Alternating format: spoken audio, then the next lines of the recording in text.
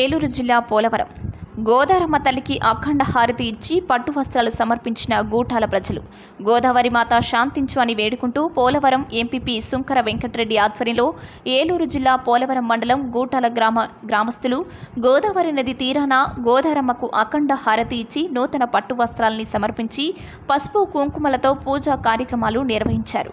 గత ఐదు రోజులుగా గోదారమ్మ ఉగ్రరూపం దాల్చి ప్రవహిస్తుండటంతో శ్రీ లక్ష్మీస్వామి దేవస్థానం భక్తాంజనేయ స్వామి ఆలయ కమిటీ సభ్యులు అర్చకులు బ్రహ్మంగారి గుడి అర్చకులు కమిటీ సభ్యులు ఎంపీటీసీ గ్రామ పెద్దలు ప్రజలతో కలిసి గోదావరి మాత ఉగ్రరూపాన్ని శాతించాలని కోరుకుంటూ సామూహికంగా అఖండ ఆరతి ఇచ్చి నూతన పట్టు వస్త్రాలని సమర్పించి పసుపు కుంకుమలతో పూజా కార్యక్రమాలు నిర్వహించడం జరిగింది. ఎంపీపీ సుంకర వెంకటరెడ్డి తెలిపారు.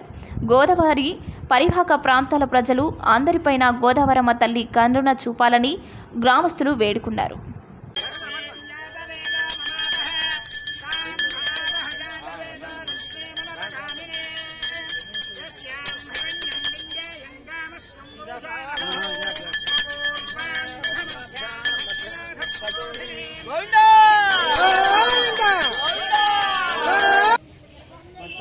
స్వామి దేవస్థానం వారు అందరూ కలిసి గోదావరి మాతని గ్రామ ప్రజలందరూ కూడా ఈ ఉగ్ర రూపాన్ని శాంతించు తల్లి గోదావరి మాత శాంతించు తల్లి అని చెప్పేసి పూజలు అక్కడ ఆరతులు ఇచ్చి నూతన పట్టు వస్త్రాలతో సమర్పించి గోదావరి మాతకి శాంతింపజేయాలని కోరుకుంటూ ఆ మాతని అందరూ కూడా గ్రామ ప్రజలు గ్రామ నాయకులు అందరూ కూడా పూజలు ఘనంగా పూజలు జరిపించడం జరిగింది.